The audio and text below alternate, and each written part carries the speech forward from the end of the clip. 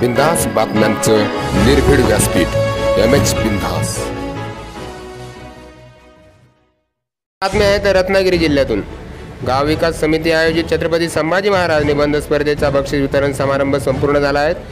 या गाव विकास समिती चांगल्या प्रकारे जनजागृती आणि जिल्हा विकासाचे विजन मांडत असल्याने विद्यार्थ्यांनी या भूमिकेचे कौतुक केले आहेत रत्नागिरी जिल्ह्यातील तरुणांनी आता धाडस केले पाहिजे आणि शासनाला रोजगाराबाबत प्रश्न विचारले पाहिजेत.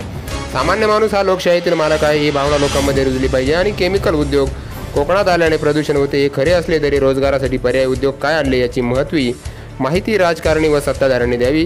विरोधाचे राजकारण सामान्य माणसाच्या हितासाठी नसून ठेके मिळवण्यासाठी आहेत. प्रमुख मार्गदर्शक सुहास खंडागळे यांनी आपली भूमिका या ठिकाणी समितीची भूमिका मांडली. गाव विकास समिती ही सामान्य तरुणांची जमिनीवरील संघटना असल्याने बक्षीस वितरण कार्यक्रमही साध्या पद्धतीने घेऊन संघटनेने वेगळा आदर्श घालून दिला आहे. विद्यार्थ्यांना कोणत्याही अडचणी असतील तर त्या सोडवण्यासाठी आम्ही प्रामाणिक प्रयत्न करू.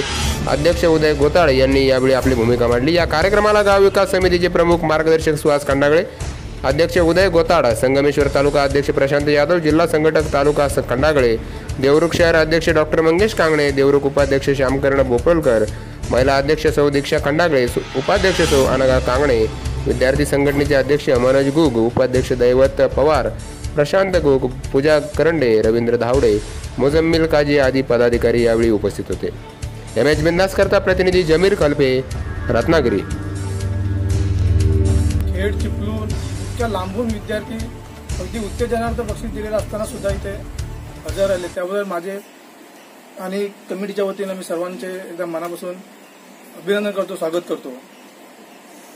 मी तुम्हाला थोडक्यात सांगायचा प्रयत्न करेन गाव विकास समिती ही कोणती अशी मोठी संघटना नाही आहे की हा जो तुम्ही मगाशी एक विद्यार्थी बोलता बोलता बोलला की बऱ्याचशा जे बक्षीस वितरण समारंभ असतात ते मोठ्या हॉलमध्ये होत असतात.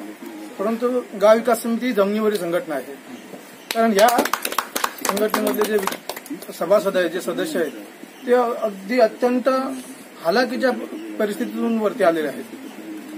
त्यामुळं त्यांना जाण आहे की आपण जे काय करतोय ते समाजासाठी केलं पाहिजे. उगाच गाजावाजा करून जिथे आवश्यकता असेल तिथे जरूर केलं पाहिजे. परंतु नको त्या ठिकाणी आज मला सांगा बक्षीस वितरणासाठी असा आवाडावे खर्च करून तो वि- वाया त्यांना त्यातून काय निष्पन्न हो- होणार आहे? आज आम्ही जर प्रथम क्रमांकाचं बक्षीस पाच हजार रुपये देतोय ते आम्ही विभागून दिलंय. आणि त्यासाठी जर का आम्ही पंचवीस ते पन्नास हजाराचा फक्त बक्षीस वितरणासाठी खर्च करणार असू तर त्यातून साध्य काही हो